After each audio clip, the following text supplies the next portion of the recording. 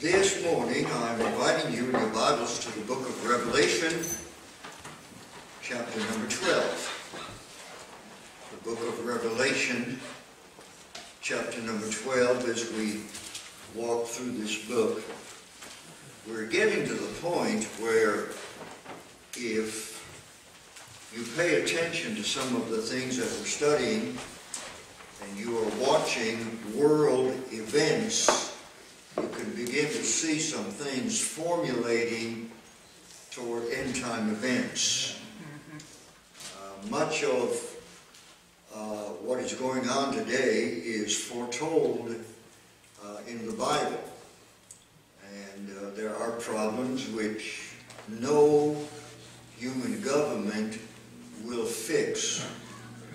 Uh, they're just issues that throwing more money at will not fix. Uh, we are not addressing the moral crises. Uh, we are not addressing the anti-Christian uh, crises. And uh, I know that uh, everywhere we're hearing peace and safety and prosperity, and it does appear that on the human side, but when you begin to look at that same situation from the Bible, there are a lot of cracks in the dike, as old timers used to say.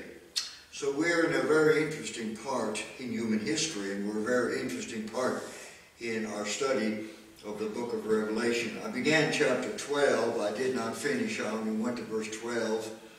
And uh, uh, here we are that the entire frame of our current discussion is in the confines of the last three and a half years of the tribulation period. Uh, the Bible talks about a seven year tribulation period, and really that's the seven last year of Jewish history to usher in the coming kingdom of Christ. It ends very badly for the world. It ends very gloriously for the Jewish people and for the Christians. The middle of the tribulation period, there is an event that takes place that will usher those three and a half last years in. It's an event that is called the abomination of desolation. It is a foretold, knowable, perceivable, predicted event. It's an actual event. In the Bible called the abomination of desolation. What it is, is all of a sudden, in the middle of the tribulation period, the Antichrist, who has helped the Jews rebuild that temple, then goes into the temple, sits down on the throne, and declares himself God, outlaws all other worship uh, except him and his satanic institution. That is an event that's called the abomination of desolation. And then the next three and a half years are really the worst Holocaust for the Jewish people that have ever been, and they would be wiped out except God protects them. And the Christians, Jews and Gentiles both, will be slaughtered by the multitudes, and uh, it's really just a very terrible time. We have not yet come in our study to the last of three series of seven judgments. Uh, we have, we've uh, done the seals, we've done the trumpets, but not the seven bowls. Uh, that's coming. But everything that we're now studying is within that bubble of that three and a half year period. And we are introducing you to seven personalities, singular and or plural. And what we did in chapter 12 we uh, last week we introduced you to a person called a woman, and we explained that is Israel. In the Old Testament, Israel was always called the wife of God. Not the bride of the church, the bride, the church of Jesus Christ. That's New Testament. But the wife of God, the Jewish state in the Old Testament, she's called a woman. Second personality in, introduced to us is uh, Satan, destroyer, destroyer, deceiver. Uh, he is the driving force behind all the evil that has ever been on earth. This is to a limit his domain now, which Christ will take back, and he and his group will be cast into the lake of fire forever. But in the last three and a half years of the tribulation, Satan, having been cast out of earth, out of heaven, and the abyss, sometimes also called a sea, uh, unleashes all kinds of demons. And the last three and a half years of the tribulation, while the physical cosmos events are earth crushing, much worse will be demonic activity and satanic activity, which will come to a head.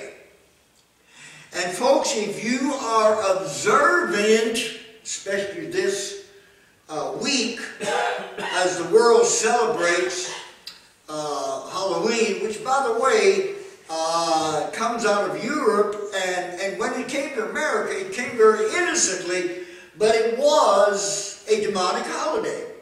It was a satanic holiday when it came from the northern Gulf countries. And we see now that in our country it is now beginning to show its light and move in the same direction. Uh, so we studied Satan, and then of course the child being the Lord Jesus Christ, who is now at the right hand of the Father, but coming back. And then we were introduced, and this is where we stopped last week, Michael, the archangel. We, as I explained last week, know nothing about this other than what the Bible has to say in these few verses. The activities on earth somehow will also penetrate some activity in the heavenlies. And Michael and his angels will come and fight with Satan and his angels because Satan will lose and be confined. Michael is one of the archangels, chief angels in the Bible. He has particular care over the Jewish people. That's who Michael is. And, and later on in this book, we'll have a few more things uh, to uh, say about Michael. Now then, we are uh, starting where we left off, and that is in uh, verse number 13 of uh, uh, Revelation, chapter number 12. And we see Satan's activity on earth uh, in relation to Israel in that last three and a half year period. So begin, we left off where Satan got booted out of heaven. So in verse 13, when the dragon, Satan, dragon in the Bible always stands for a ferocious beast. That's what a dragon stands for. And that's what Satan is.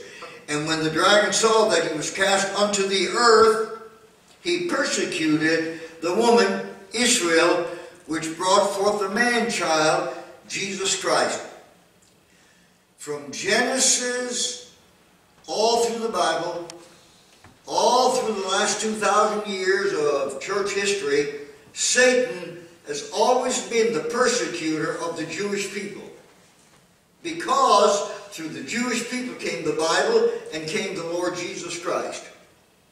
That activity will now be greatly accentuated because now Satan knows his time is limited. And when the dragon saw that he was cast into the earth, he persecuted the woman which brought forth the man-child. And to the woman were given two wings of a great eagle. Now, not obviously literal, but symbolic. Uh, the eagle or a particular brand of very large vultures were a very common bird, are a very common bird in the Middle East. So when John uses by divine inspiration uh, this language, we're given two wings of her great eagle, uh, fast and swift and powerful. Jewish writers would have no problem understanding uh, what this means here. That she might fly swiftly into the wilderness, into her place. I mentioned to you last week, I'm going to mention this again. The entire Middle East, in the last three and a half years of the tribulation period, will be in a death struggle war. Except three little countries. Ezekiel talks about that. I don't have time to go into all that history, but Ezekiel talks about three little countries to the southeast of Jerusalem and Israel will not be involved. God will keep those three little countries at peace, and that's where God will have Israel, the Jewish people, flee until the Antichrist is uh, conquered. Now here's something I want you to see for your comfort. Long ago, uh, we're talking over 3,000 years ago, God already was in control and planned what was going to happen. And 3,000 years ago, God had already made arrangements for the Jewish people to have a place to hide during the great tribulation time. And folks, the same God watches over you. The same God watches over me. And the same God watches over this church. And don't ever forget that. And so, uh, the woman had two wings, eagle's wings, fly swift into the wilderness, into her place. A pre-designed place in the desert by God ordained at the beginning of eternity where she is nourished. Time is a year, times is two more, that's three and a half, that's three and a half years, from the face of the serpent. There is no nation on earth where there had been as many wars. There is no people on earth where there have been as many enemies and as many attempts to wipe them off the face of the earth as have been against the Jewish people. It has not worked, though multitudes of them have been slain, yet that nation has survived. That city, over 40 wars in their history, sometimes totally annihilated, has always rebuilt. Because God said Jerusalem is an eternal city, and they are an eternal nation. And Palestine will be their eternal home. And Jesus Christ will be there and our eternal King. And when God says eternal, it can't be any other way. That's why when God saved you and promised you everlasting life, you can never be lost. When God does something, He does it forever. So uh, uh, they were nourished there in their in her God prepared place for three and a half years from the face of the serpent, from Satan. And the serpent cast out of his mouth water as a flood after the woman that he might cause her to be carried away of the flood. Uh, flood and uh, water usually are emblematic, and it is in this case of humanity. The largest standing army in human history is yet in the future. Multi-millions army under by Satan's power under the forces of the Antichrist, who is an economic and political leader. And that war is primarily for the annihilation of the Jewish state, but it will not happen. And so uh, it says the serpent cast out his mouth water as a flood after the woman, that he might cause her to be carried away of the flood. The greatest attempt of armed force against the Jewish state is yet to happen in the last three and a half years of the Great Tribulation. But the earth helped the woman, and the earth opened her mouth and swallowed up the flood which the dragon cast out of his mouth. Now, strictly speaking, that's not explained. There is one major hint, though, of what this means. First of all, we have already studied that there will be multiplied, massive, worldwide uh, storms and earthquakes. That leads us back to something that happened in the Old Testament under Moses. Moses, who's type of Christ, had an enemy, Korah, who was a type of Satan. And Korah and his bunch set out to overthrow Moses and his bunch. You remember what happened? Literally the earth opened and Korah's whole bunch was swallowed into the earth and the ground closed back up. The most logical interpretation of this verse is that literally the earth will open up and swallow those armies. Now that's not the only thing that's going to happen to them, but at this particular junction, that, if we interpret Scripture with Scripture, probably uh, is what is going to happen. So, and the earth helped the woman, and the earth opened up her mouth and swallowed up the flood which the dragon cast out of his mouth. And the dragon was wroth with the woman. Always has been, always will be, but now it's accentuated. And went to make war with the remnant of her seed. Now, not all the Jews will be out in this little three country area safe. There will be Jews all around the world. And many of them will by now, once they, once the Antichrist sits down, goes into the temple, sits down on the throne, and declares himself to be God, according to Bible prophecy and according to the Lord Jesus Christ himself in the book of Matthew, that moment the Jewish state, the Jewish people have their eyes open and they recognize, oh my Lord, he's the Antichrist, but we've rejected the true Messiah. That happens when he sits down on the throne. So now then, it's all out in the open, and now it's all out war to get rid of all the Jews. And that's when he goes to make war with the remnant of her seed, which keep the commandments of God. Many, many, now very few Jews are being saved because it's the church age.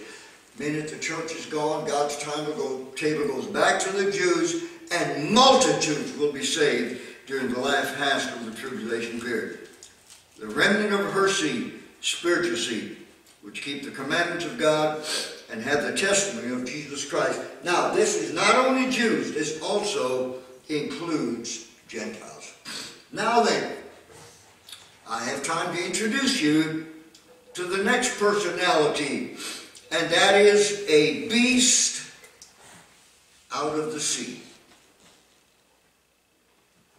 John says, I stood upon the sand of the sea, the mass of humanity, and I saw a beast. A beast is a wild animal. Rise up out of the sea, out of the sea of humanity. There's another interpretation, but I, I don't, don't buy it. That, and the sea does also speak of the abyss. But uh, there, there's one interpretation that says that uh, the sea, the, he rises straight out of hell. No, no, he is an actual living person, just like the Antichrist is an actual living person. Rise up out of the sea, having seven heads and ten horns. The seven heads speak of the last, speak of all Gentile world powers that ever have been. You saw this description of the Antichrist earlier, uh, beginning with Assyria, Babylon, Media Persia, Greece, all the way up to Rome. And ten horns, uh, that is the, uh, that is the uh, seven hills of Rome representing seven nations and powers. And upon his horn ten crowns, and upon his heads the name of blasphemy, Antichrist. Antichrist. And the beast which I saw was like unto a leopard, swift, speaks of Greece, and his feet as the feet of a bear, Babylon, strong, and his mouth as the mouth of a lion, Rome, ferocious. And the dragon gave him the, his power. The Antichrist is a satanic, empowered human being. The dragon gave him his power and his seat and great authority. Satan is the originator and the head of the godless world system without Christ, based on greed, corruption, immorality, and power taken by force.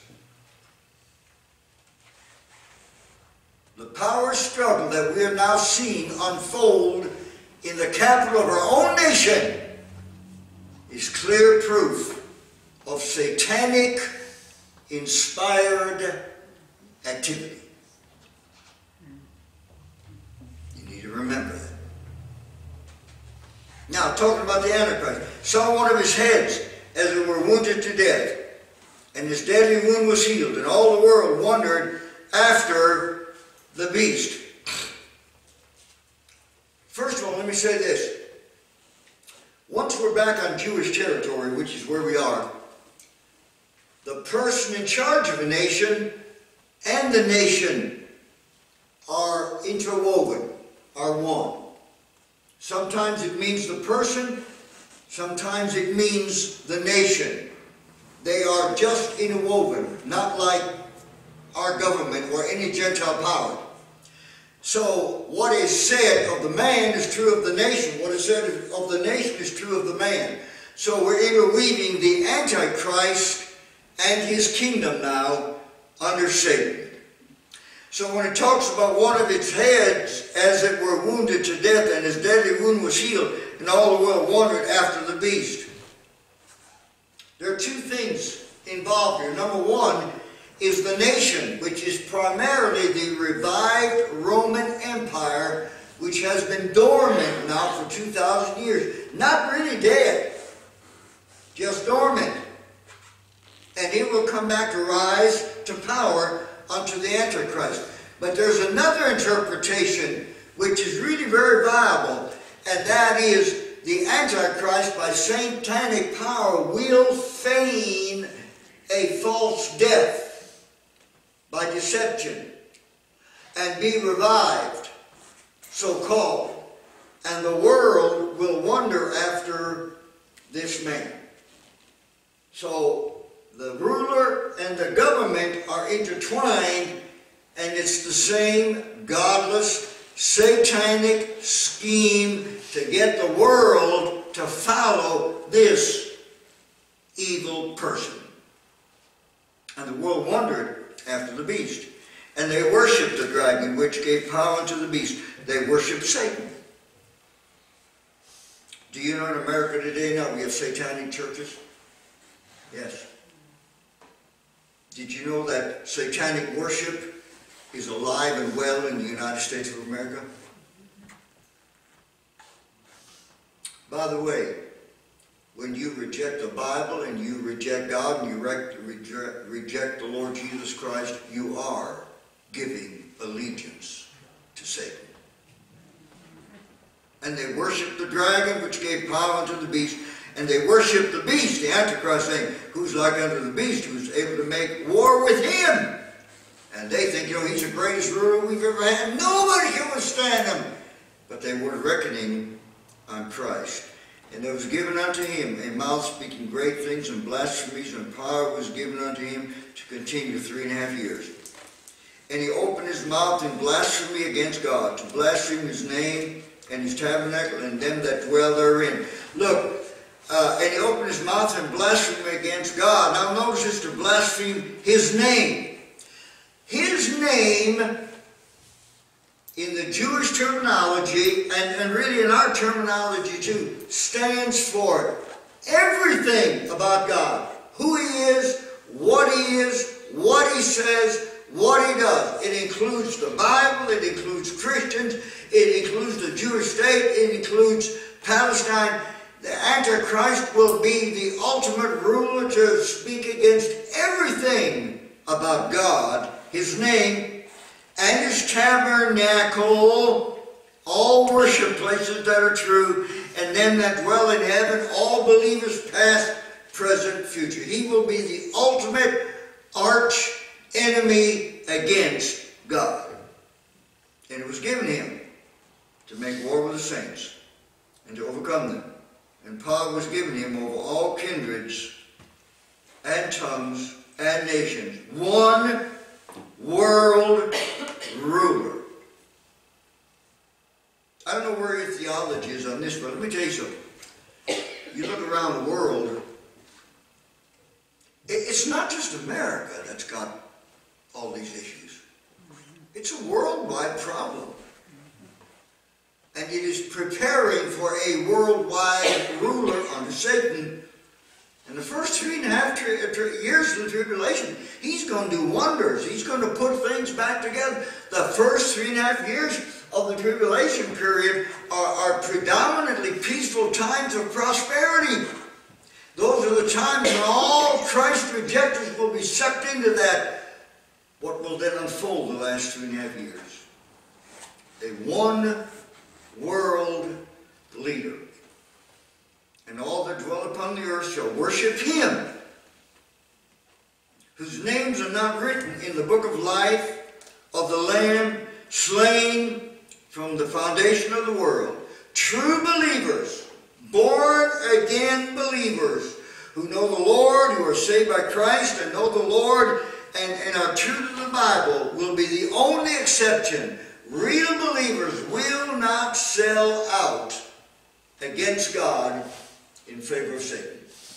They will endure even unto death. It has happened multitudes of times on planet Earth, and it will continue to happen.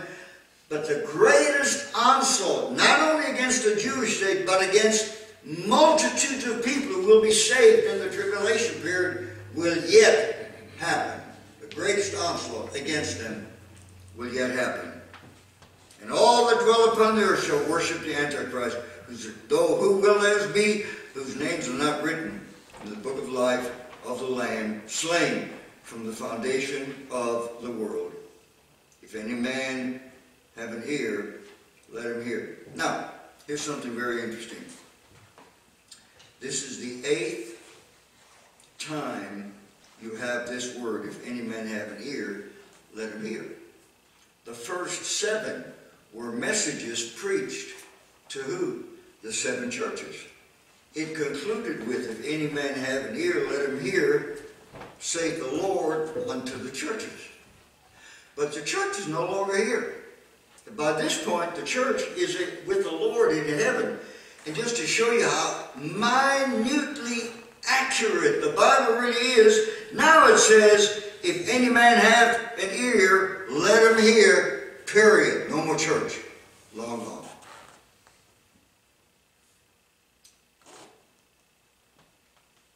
He that leadeth into captivity shall go into captivity. He that killeth with the sword must be killed with the sword.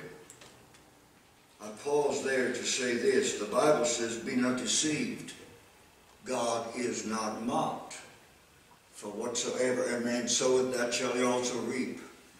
He that soweth to the flesh shall of the flesh reap corruption, He that sowed to the Spirit shall of the Spirit reap life everlasting. There will come to planet Earth a time of reaping. Reaping for the lives that have sown to self, the flesh, and the devil. There will come a reaping for them, says the Lord. But the reaping for true believers will be an eternity with the Lord in heaven. And I'm going to stop with this little statement. Here is the patience and faith of the saints. That's a great place to stop. Next Sunday, Lord willing, I am going to introduce to you the last great false preacher, prophet this world will ever have, beginning in verse 11. But I close with, here's the patience and faith of the saints. We in our beloved America do not yet, for the most part, endure any physical persecution. But we do emotional. We do. Uh, believers who are straight, who uh, refuse to live the lifestyle of the world. You know, the Bible does say, without holiness, no man shall see the Lord. We now have multitudes of churches led by a multitude of preachers who don't care how long you, how you lived in the world. You can smoke and drink and cuss and go to dancing and uh, play in the bar, uh, but as long as you come to Sunday, all is well. That's a lie out of the, out of the devil's hell. Bible says without holiness, nobody shall leave the Lord. And if you're living a good Christian life, you are swimming upstream against the tide of what even preachers are now preaching from the American pulpits. I'm telling you, there are going to be a lot of Baptist preachers and all kinds of preachers in hell because they have lied to their congregations for whatever motives, which I am not to judge. But I'm telling you, folks, stay patient. Keep the faith. Live right. Here is the patience and the faith of the saints. Don't get caught up in the hoopla of the world. It is a broad road that leads to perdition. It is the straight and the narrow way that leads to God. Be saved. Live for Him. Love Him. Read your Bible. Pray. Attend a good church. Let your light shine for the Lord Jesus Christ. Those are the saints that will endure the great trial when it comes to planet Earth. Amen. Amen. Would you stand, please? Every head bowed and every eye closed.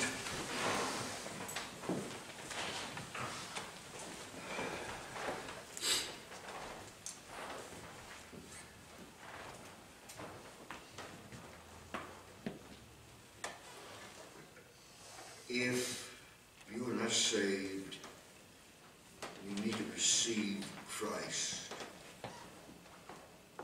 You bow your head, you close your eyes, you submit, submit, submit, submit. Receive Christ and thank Him for forgiving your sins and saving your soul.